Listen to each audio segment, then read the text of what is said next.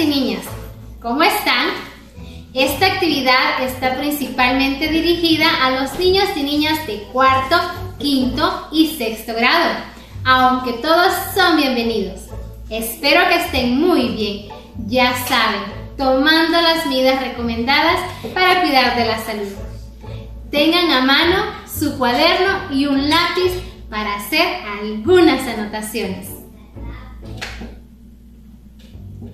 Hoy escribiremos un texto narrativo sobre cómo ha sido nuestra experiencia de estudiar en casa.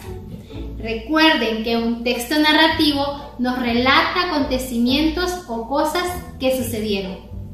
Recuerden que el primer paso para escribir es hacer la planificación. En esta parte haremos una lluvia de ideas con todo lo que podría ir en nuestro texto. Para la lluvia de ideas, les recomiendo hacer una tabla como la siguiente.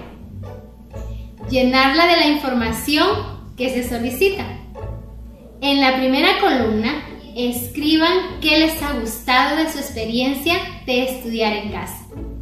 Y en la otra columna, qué no les ha gustado. Para poder saber cómo ha sido la experiencia de los niños y niñas estudiando en casa, yo entrevisté a una de mis vecinas y ella me dio esta información. Con esta información ya podemos escribir el texto narrativo. El texto que escribiremos tendrá cuatro párrafos. Un primer párrafo de introducción del tema. Un párrafo de desarrollo en el que diremos lo que le gustó a mi vecina de estudiar desde casa. En el otro párrafo de desarrollo diremos lo que no le gustó. Y por último, un párrafo de conclusión con el mensaje final. Ah, claro, también hay que pensar en el título. Creo que un buen título para el texto podría ser Estudiando en casa porque dice en tres palabras exactamente de qué trata el texto. Les leeré el párrafo de introducción que escribí. Por causa de la pandemia del COVID-19, este año todas las escuelas de Honduras están cerradas y Rosa estudia en su casa.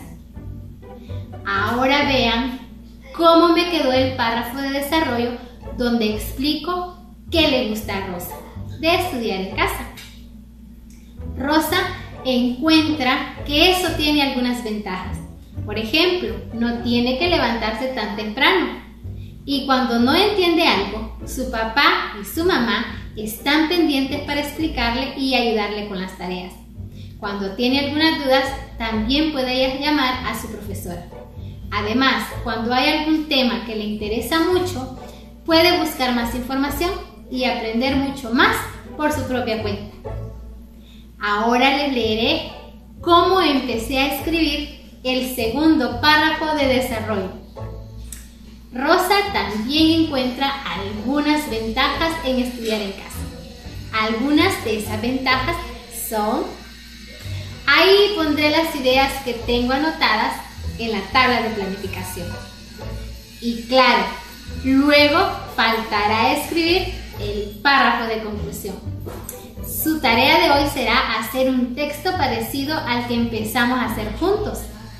El texto tendrá un título, un párrafo de introducción, un párrafo de desarrollo en el que relaten lo bueno de estudiar en casa, un segundo párrafo de desarrollo en el que digan lo que no les gusta de estudiar en casa y finalmente un párrafo de conclusión con un mensaje final.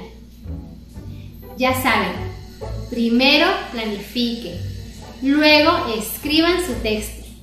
Recuerden usar los conectores para unir las ideas. Después, revisen y corrijan.